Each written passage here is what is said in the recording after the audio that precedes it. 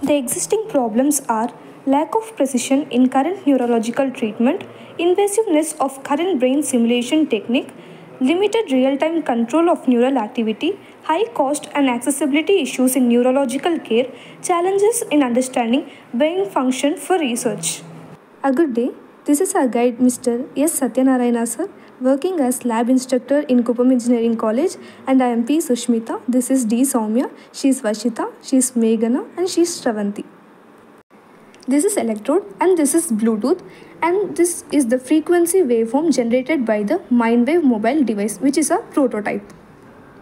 We can also measure the waveforms in oscilloscope.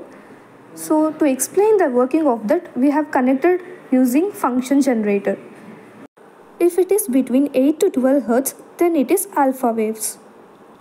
This is especially designed for physically and mentally challenged people. The frequencies exerted by their mind can tell their mood fluctuations. To show the internal structure of this, we have made a setup.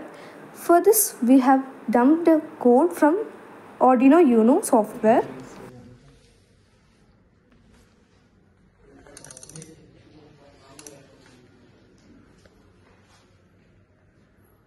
We can operate it using mobile phone app.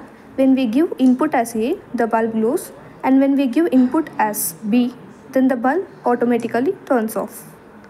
These are the applications of our project and these are the newness or uniqueness of our project.